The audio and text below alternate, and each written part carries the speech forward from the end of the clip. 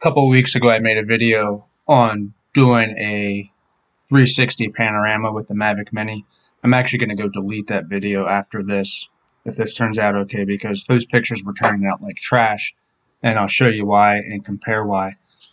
Um, so today I did the my first time doing it on the fly 360, and it was pretty cool and super easy. So also the first time using my screen recorder after upgrading to Android 11. So I opened up the app and pressed the little airplane up in the top right, which just brings me up to a regular fly manually screen. Um, so once I take off and get to the spot, so for this, I just went up to, I think it was around 100 feet, and then went through the steps to do it on the fly functions. So here we go, taking off. Jump forward. Okay, so I get up to about 100 feet, back out. I'm going to click the on the fly, which brings up, let's go back there a second, that happened quick. So it comes up with the plan, so I click on the fly. That's something you do when you're already at the spot. You don't have a chance to make the mission on the computer. And there's a bunch of them here. But so I just click load function.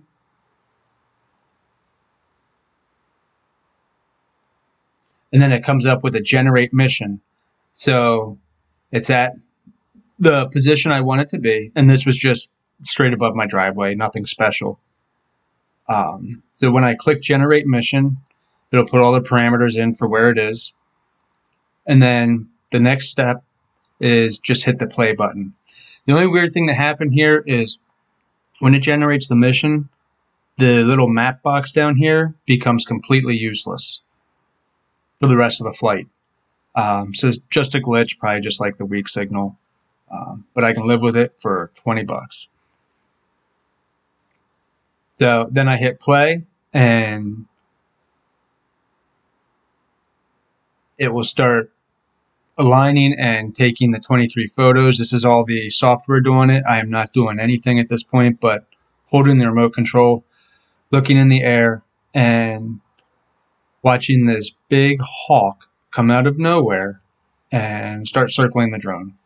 But everything worked out okay. And right here he is. Turns and comes past. We'll see him in the pictures. So it goes through and takes 23 photos like this. I'll just jump ahead.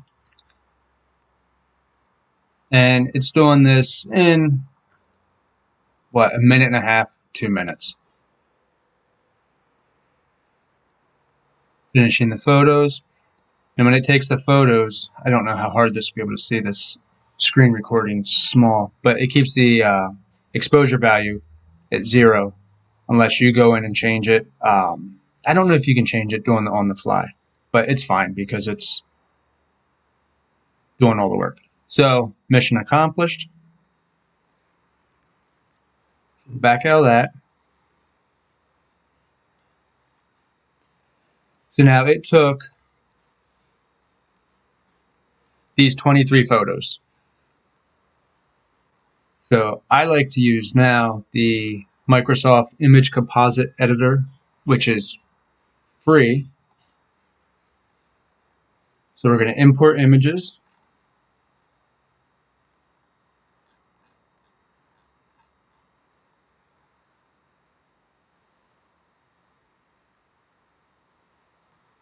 And it should be 23 photos. Next.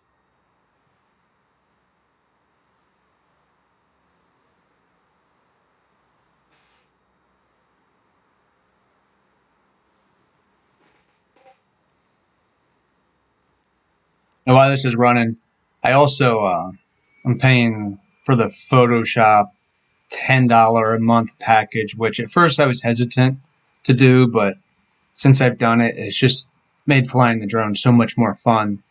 Um, you can do things with it. So here we are. That's what it came up with. Uh, everything looks good. So with these little arrows here, you can move it side to side where you want the center point of the photo to be when it opens up. So kind of looking into the sun, but let's go to the bird.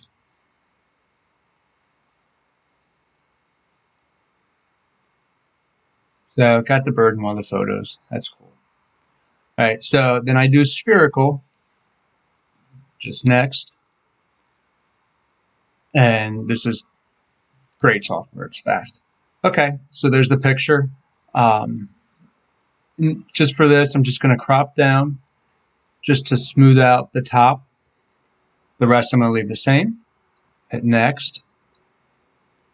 And for this, I'll just leave the quality at 75. And we're going to export.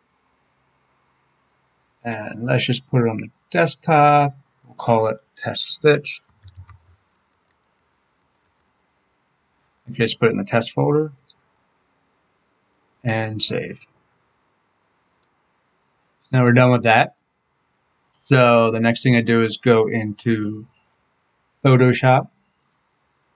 We're going to open that same photo. Test stitch. And if you forgot to crop it on that last step, you can crop it in here. No big deal.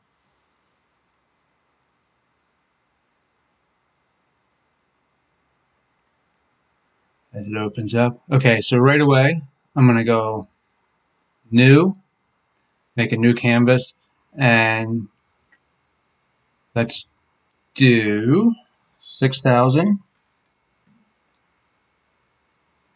by 3,000 pixels, and we'll just leave it at 72. Okay, so we'll go to our test stitch.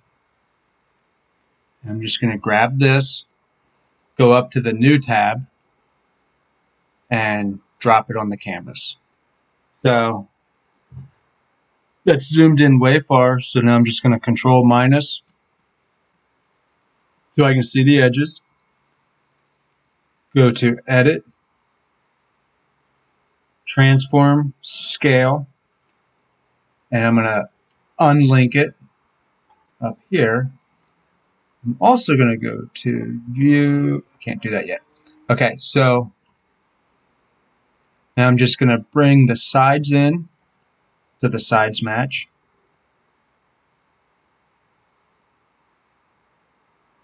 The bottom in to the bottom matches. Now I'm just going to my cursor tool saves it there. So we're going to go to view, new guide layout. Now, all this stuff I've found on other videos. I'm just putting this into one just to show the uh, the coolness of the on the fly 360. So this center line. Go back to what I did there. Um, I made two rows. Doesn't matter how many columns, but two rows. So I have a line going straight through the center of the photo. So now I'm going to control plus, plus, plus, plus, plus, plus, plus go back to transform, scale, I'll make sure it's unlocked. I'm going to drag this down so the horizon is right on that center line. If it's not, your photo is going to look like this. I did several photos that looked like they were in a well compared to the flat horizon. Arced horizon, flat horizon. It's a lot more appealing. Okay, so the horizon is right on the center line. Cool. Go back to view. Clear those guides. Now I'm going to control minus just so I can see everything.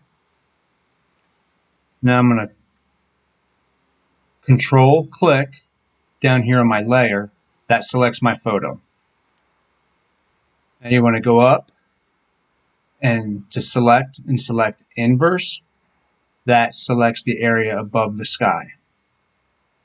Go back to select, modify, expand, and I've seen this on other people's videos. You want to expand that open space by five pixels so that the next step works smoothly.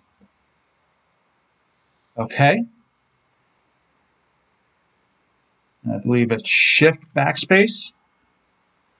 Brings up the content aware.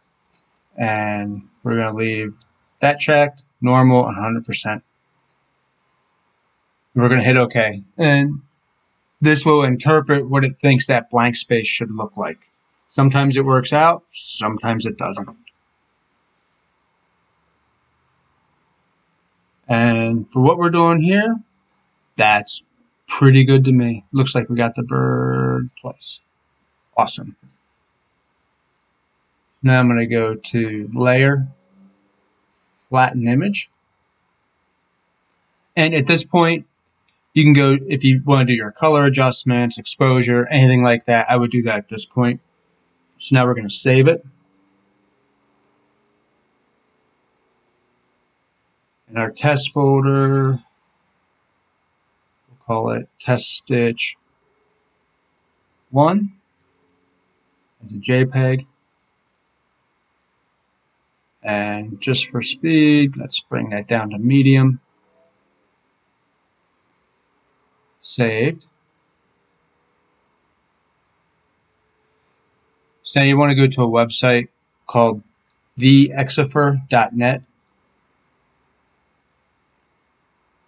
and we're going to upload that video, um, not the video, the test stitch one.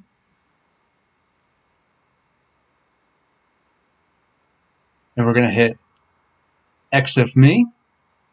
This lets you, you can select where the photo was taken, put it in the middle of the ocean. But you're going to scroll down.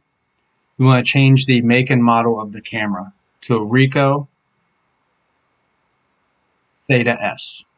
This way, when you upload it to Facebook, Facebook recognizes that as a 360 camera. So when you're done, scroll all the way down, go Exifine. And now I'm going to right click on download me, save link as, and I can put it back in my test folder call it test stitch 2, or let's call it final. Test stitch final. It's When it's done downloading, go ahead and remove this file. Now we can go into Facebook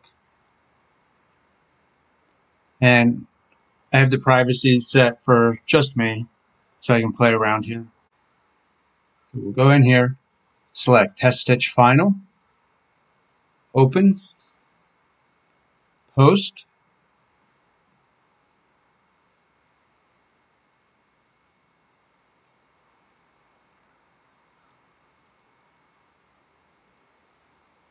and we have our 360 a flat horizon and a little big brother searching around. Hope that helps.